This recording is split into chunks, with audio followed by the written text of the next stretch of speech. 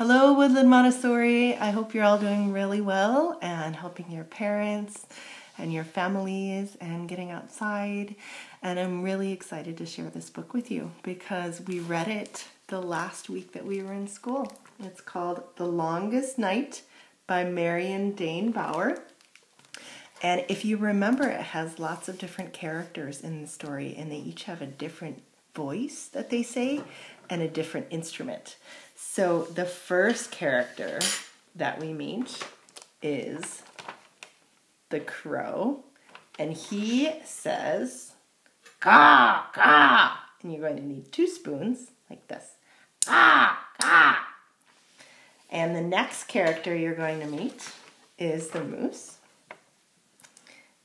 and he says, "Humph, humph," and you're going to need a pot and a wooden spoon like this. Ready? Humph, humph. And the next character we meet is the fox. And the fox says, you need your two big rocks like this. Yep, yep. And then we have the chickadee, the star of the story. And for the chickadee, you're going to need a shaker. Dee, dee. And at the very end, we hope, is the sun. And you're going to need a glass of water and a spoon, like that. And there is one more character in the story that does not have a musical instrument, that you only use your voice. And I know some of you were thinking of this already, and you're going to tell me. And it is the wind, and the wind says, Shashi, Shashu, every time the wind speaks. So here we go. The Longest Night by Marion Dane Bauer, illustrated by Ted Lewin.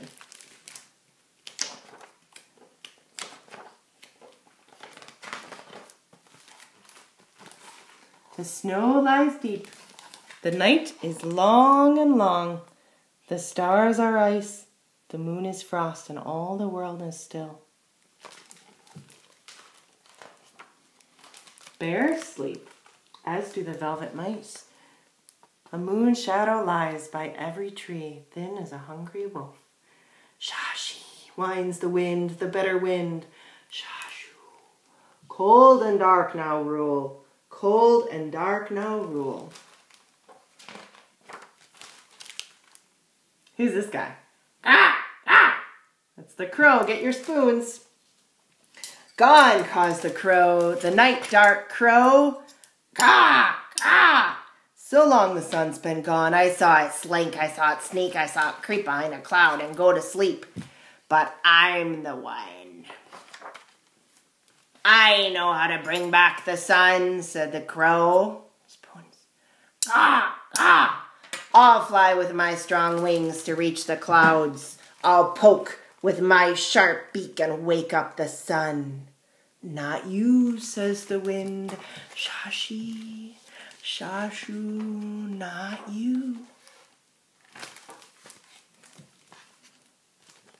Who's this guy? The moose. Get your pot, get your wooden spoon. Gone, says the moose. Hump, hump. The mighty moose, I know the sun is gone. I saw it slip, I saw it slide, I saw it plunge from the bowl of the sky and disappear behind a hill. But I'm the one I know how to bring back the sun. I have legs long enough to reach that hill. I have antlers strong enough to scoop up that sun and bring it home, said the moose. Not you, says the wind. Not you. Shashi, shashu. Gone! Barks the fox, the clever fox. Your rocks? Yep, yep. The sun is too long gone. Someone must search, someone must seek, someone must find the hole that the sun climbed into.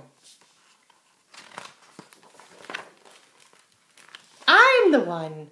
I know how to bring back the sun. I have a nose keen enough to sniff out the sun's hiding place, paws quick enough to dig it up, teeth sharp enough to grab the sun and toss it back into the sky, said the fox. Yip, yip. Not you, says the wind. Shashi, shashu, not you. The night is long and long, says a chickadee. The sun is gone and gone. If not crow or moose or fox, then who? Who can bring back the sun? Get your shaker. Dee, dee.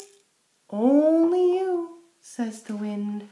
Only you. Me, says the chickadee. Dee, dee. Her, cries the crow and the moose and the fox. Shashi, answers the wind. Shashu, and the chickadee hears. Only you. Where is she? Where's the chickadee? Can you find the chickadee? I thought it was on this page. Nope, not on this page. We'll keep reading. the little bird knows she can't fly all the way to the sun. Her beak isn't strong enough to poke it awake, and she can't climb or scoop and sniff or dig or toss the sun into the sky, so she does instead what chickadees do best, and she sings. Chickadee dee dee, chickadee dee dee, chickadee dee dee. You guys know this. What kind of a noise is that? said the crow. Ah, ah. The sun won't listen to such nonsense, said the moose. Humph, humph. What could it possibly mean? said the fox. Yip, yip. Only D, says the chickadee. Only D. Here's the chickadee. This, there it is. Dee, dee.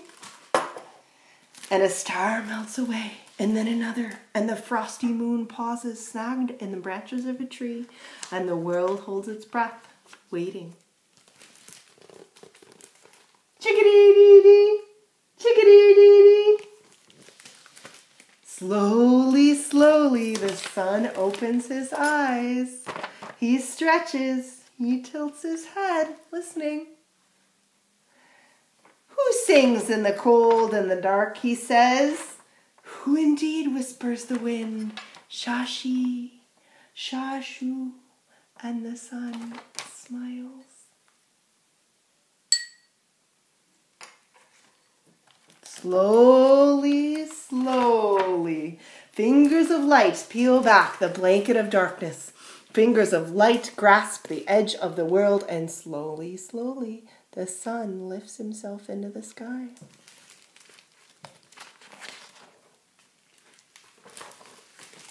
Thank you, sun, sings the chickadee. Thank you, sun, echoes the world. And with the song of one small bird and the sun's answering smile, the journey towards spring begins. You could play the sun one more time. All right, I hope you enjoyed that. I want to give a big shout out to Samantha because it's her birthday today and say that we miss all of you and we hope you have a beautiful, beautiful day, everybody. Okay, thanks.